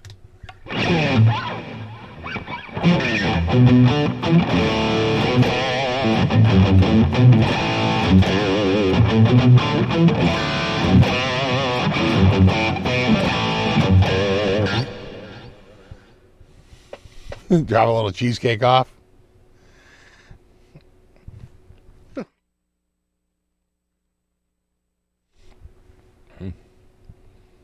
Thanks, Black. Thanks, Black Jack, for the coffee fund, Steve. Thank you.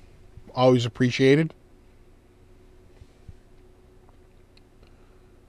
You know, it's funny because they, they finally had the Starbucks back in stock, and we we didn't get it because the with the the new Kirkland stuff is pretty much the same stuff, but it's still cheaper. Even with even with the um, the Starbucks on sale, it's still cheaper. Steve, buy a Flying V. Oh, okay, that's different. you know, I, I, had a Flying V once. Um, I like the white ones. I think they look pretty badass. Like the white 70s ones. You see them show up once in a while on um, Guitar Center used, but you got to be quick if you want just the right year, which would be like a late, like a late 90s. Oh, man. I am tired.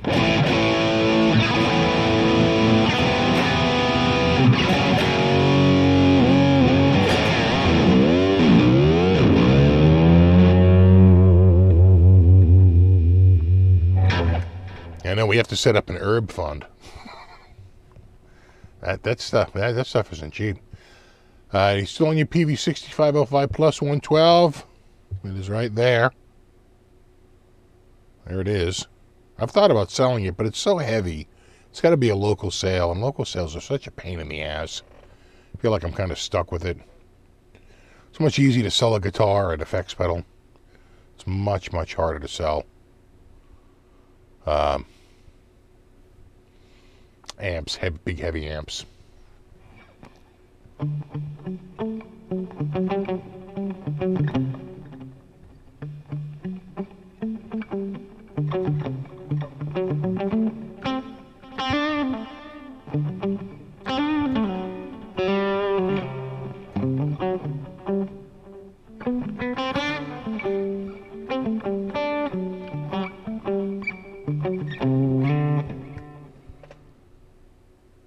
These are a pain in the ass to play sitting down, and to some degree, explorers too. Yeah, you have to have your right foot drop. What? You ready to go upstairs here? Oh, someone's tired. You coming over? No, you look exhausted. You look tired.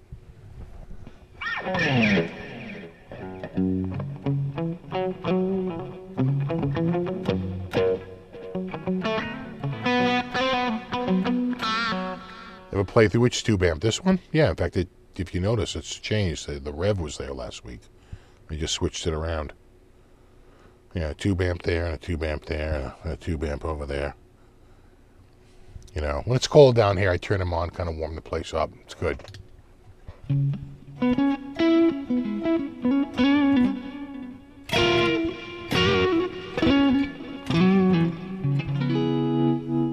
If I had to plug in,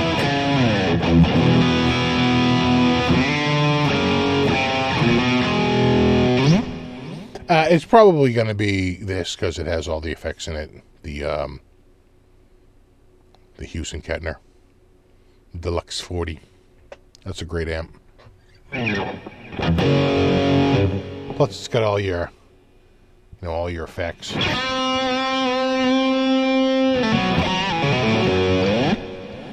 Ever try a positive grid spark? Of course. I've done several videos.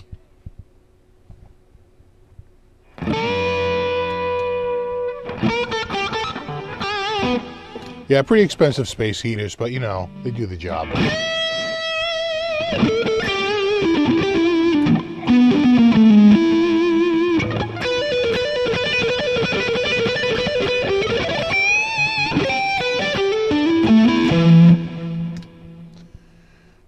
Fingertips were cold, toes were cold. Could see your breath, yeah. Yeah, we finally got pretty chilly around here.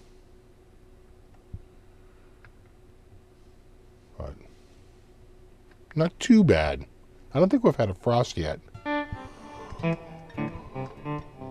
Ugh. Are you ready to keep the basement safe during the flood season? I think so. It's been so far. It's been pretty good. We've, we've been in a pretty massive drought, but we've had a few, um, you know, uh, rain events that have sort of brought that back a little bit. But uh, we're still far below. I mean, the the sump is fairly empty. Uh, you know, relative to where it normally is. You know, kind of year round.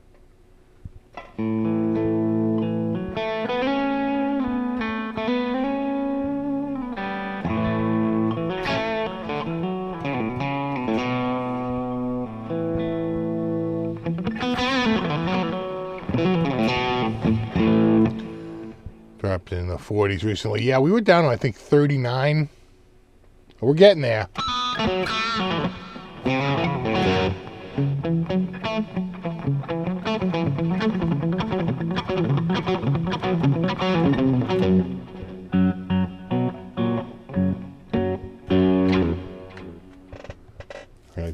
If you could buy one new today, which model would you recommend? I kind of like the SM1. That's a really good. I think that's sort of like their flagship. You know, the, the SM1's really good. They use Duncans in it now. They used to use EMGs, but they're all Duncans now. Uh, you know, and then there's uh, they they do the graphics collection, um, you know, and they do the Pacer, but I'm still going SM1. I think. I think that's the sort of the the full Kramer experience: pointy headstock, binding, ebony fretboard, you know, single, single, double, carved top.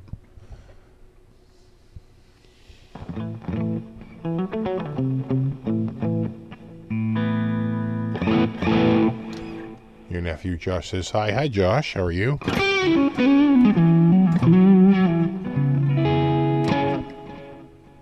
Yeah, safe you built uh, for the guitar.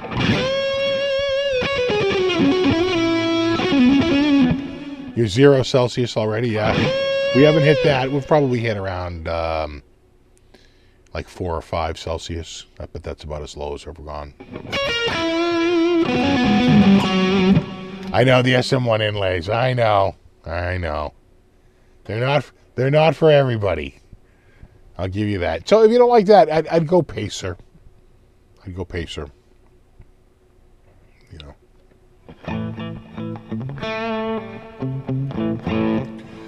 All right, dudes. Well, it's 9 p.m. I probably need another coffee. I'm friggin' yawning over here. Thanks to everybody for hanging out. Awesome. Steve, never go full Kramer. I try not to. Try not to, but it, I, I know what you're saying. Never go full Kramer. That is that is Kramer. The SM1 is Kramer on top of Kramer. They put their name both in the inlay and on the headstock, and of course, the inlays are a replica of the headstock, and uh, you know it's uh yeah it, it, it's quite it's an inception level of uh, design. Kramer within a Kramer within a Kramer, a Russian nesting, you know, doll kind of experience. Um, thanks everybody for uh, hanging out tonight. Super extra thanks for anyone who contributed. That is always appreciated. Really appreciate that. And of course, Brofist to my mod squad. Hashtag mod squad. And I'll see you guys in a week. I, I might actually get some videos out this week. I got my my got my uh, computer, you know, working again, and I got a bunch of crap out of the way. So could could be time. Could be time to actually, you know, make some videos. You know what happens. It's the Russian nesting Kramer, exactly. So you guys have a wonderful uh, weekend, and uh, maybe I'll see you this week. But definitely, we will do it all again a week from tonight. No, you rock. And so have a wonderful week. And we'll see you uh, there you go. And don't forget, uh, Ben Coombs' show is on Sunday nights, I think at 8 p.m. Eastern Daylight Time. And um, and there you go. Who do you have on there tomorrow, uh, Ben? Who who you got? Who who's the guest? Who, who's who's the guest, Ben? We're waiting, Ben. Coombs, who's the guest? Ben Coombs, who's the guest? Ben Coombs has RJ Ronquillo. Tomorrow it's RJ. Well, there you go. I just wrote that. I just wrote that. So inspired. I'm always inspired by the chat. No, you rock. All right, dudes. I'll see you in a week. Maybe sooner. How's that? you can say you can set your watch to it. All right. No, you rock. I'll see you in a week, and there you have it. Later.